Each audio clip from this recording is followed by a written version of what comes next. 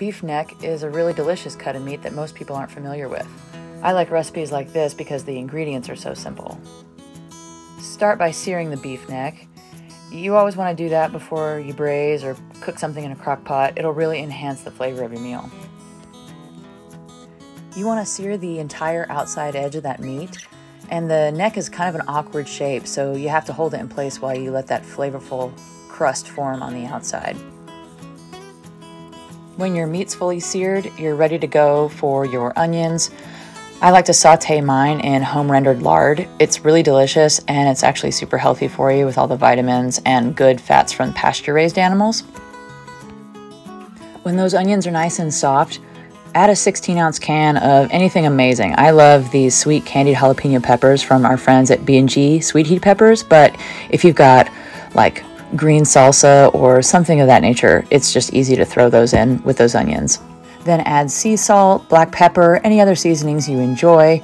You're ready to put the meat back in the pot and then cover it with water. This whole mixture is going to go in the oven at 275 for about six hours.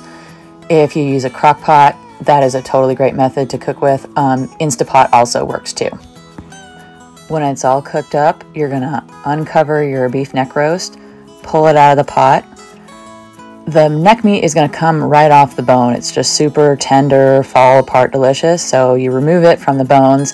It's pretty nice. The bones in this cut of meat are actually pretty large, and so there's not going to be little shards floating around in your meal.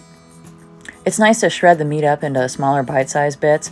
We like to serve it with a side of rice, and then we're sure to take all those wonderful juices and onions and peppers and kind of use them as a topping you get a lot of servings from this kind of meal.